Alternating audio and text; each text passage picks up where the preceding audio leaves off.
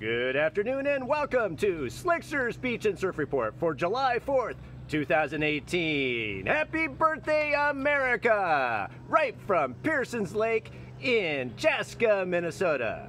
This surf report is brought to you by Maddie D's Fishing Lodge and Outfitters, specializing in guided fishing on Pearson's Lake, adventure fishing in Canada and the boundary waters of Minnesota, or you can simply just catch your limit right here at the end of their dock. That's Maddie D's Fishing Lodge and Outfitters. Get the net! They're jumping in the boat! Hurry, Yeah! Get the net! And on the 4th, 4th of July, if you book today, they're going to give you free fish cleaning uh, through through the 4th of July. So book now. That's 1-800-CATCH-FISH. 1-800-CATCH-FISH.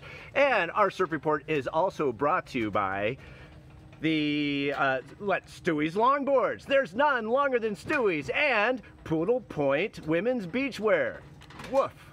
Current atmospheric conditions are we have overcast skies with air temperatures at 77 degrees with a with humidity at 75%. It is humid, guys, and the rain is starting to come right now. We have thunderstorms moving in, so we're going to have to make this beach and surf report really quick.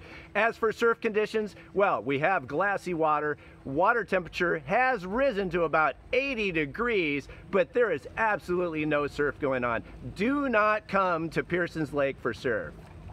This is the Slickster for, for Slickster's net! Beach and Surf Report. Remember, when coming to the beach, always swim near a lifeguard and keep your kooks at home. I am out.